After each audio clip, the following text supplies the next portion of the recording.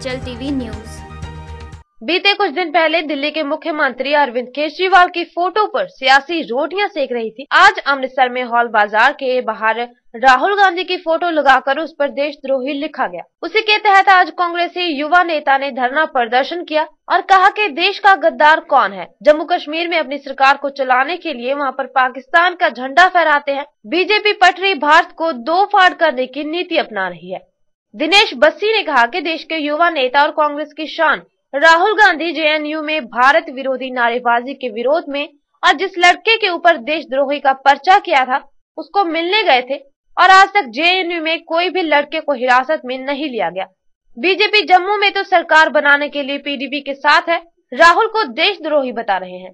इसी के विरोध में हमने आज बीजेपी के खिलाफ धरना प्रदर्शन किया है और उनके बराबर एक और पोस्टर लगाकर उनको जवाब दिया है ਇਸ ਵੇਲੇ ਸਾਡੇ ਨਾਲ ਮੌਜੂਦ ਨੇ ਇੰਡੀਅਨ ਕਾਂਗਰਸ ਨੇਤਾ ਦੇ ਅ, ਯੁਵਾ ਨੇਤਾ ਇਹਨਾਂ ਨਾਲ ਗੱਲਬਾਤ ਕਰਾਂਗੇ ਤੇ ਜਾਣਾਂਗੇ ਕਿ ਕੀ ਕਿਉਂ ਇਹਨਾਂ ਨੇ ਐਰੀਟੇਸ਼ਨ ਕੀਤਾ ਆ ਦਿਨੇਸ਼ ਜੀ ਅ, ਕੀ ਐਰੀਟੇਸ਼ਨ ਕਰਨ ਦਾ ਮੇਨ ਮਕਸਦ ਮੇਨ ਆ ਇੱਕ ਛੁਟਬਈਆ ਨੇਤਾ ਭਾਰਤੀ ਜਨਤਾ ਪਾਰਟੀ ਦਾ ਜਿਨੇ ਆ ਵੋਟ ਲਵਾਇਆ ਰਾਹੁਲ ਗਾਂਧੀ ਜੀ ਦੇ ਖਿਲਾਫ ਕਿ ਦੇਸ਼ ਦਰੋਹੀ ਕਹਿ ਰਿਹਾ ਮੈਂ ਉਹਨਾਂ ਨੂੰ ਪੁੱਛਣਾ ਚਾਹਨਾ ਕਿ ਦੇਸ਼ ਦਰੋਹੀ ਅਸੀਂ ਆ ਕਿ ਦੇਸ਼ ਦਰੋਹੀ ਤੁਸੀਂ ਹੋ ਮੈਂ ਤੁਹਾਨੂੰ ਹੀ ਪੁੱਛਦਾ ਕਿ ਦੇਸ਼ ਦੇ ਪੀਡੀਪੀ ਦੇ ਨਾਲ ਜਿਨ੍ਹਾਂ ਨੇ ਸਮਝੌਤਾ ਕੀਤਾ ਜਿਹੜੇ ਜੰਮੂ ਕਸ਼ਮੀਰ ਨੂੰ ਅਲੱਗ ਆਜ਼ਾਦੀ ਦਿਵਾਉਣਾ ਚਾਹੁੰਦੇ ਨੇ ਉਹ ਦੇ ਉਹਨਾਂ ਨਾਲ ਸਰਕਾਰ ਬਣਾ ਰਹੇ ਨੇ। ਇੱਥੇ ਬਾਦਲ ਸਾਹਿਬ ਨੇ ਸੰਵਿਧਾਨ ਪਾੜਿਆ ਉਹ ਦੇਸ਼ ਦਰੋਹੀ ਹੈ ਕਿ ਅਸੀਂ ਦੇਸ਼ ਦਰੋਹੀ ਹਾਂ?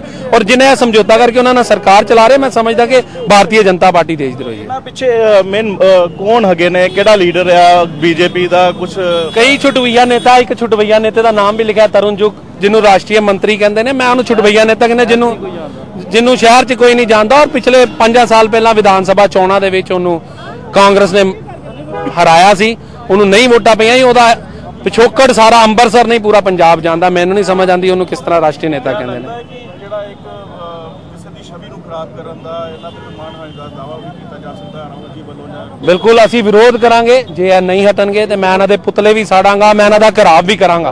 ਔਰ ਜਿੱਥੇ ਜਿੱਥੇ ਆ ਜਾਏਗਾ ਮੈਂ ਉੱਥੇ ਦਾ ਘਰਾਵ ਕਰੂੰਗਾ। ਇਹ ਸਰ ਸਾਡੇ ਨਾਲ ਐਸ, ਅ, ਤ- ਅ, ਕੀ ਨਾਮ ਦਿਨੇਸ਼ ਬਸੀ ਜੀ ਉਹਨਾਂ ਨੇ ਦੱਸਿਆ ਆਪਣੇ ਬਾਰੇ ਕਿ ਕਿਉਂ ਐਰੀਟੇਸ਼ਨ ਕਰ ਰਹੇ ਨੇ। ਅੰਮ੍ਰਿਤਸਰ ਤੋਂ ਗੁਰਪ੍ਰੀਤ ਸਿੰਘ ਜਸ ਪੰਜਾਬੀ। अमृतसर से हलचल टीवी के लिए रोहित कुमार की रिपोर्ट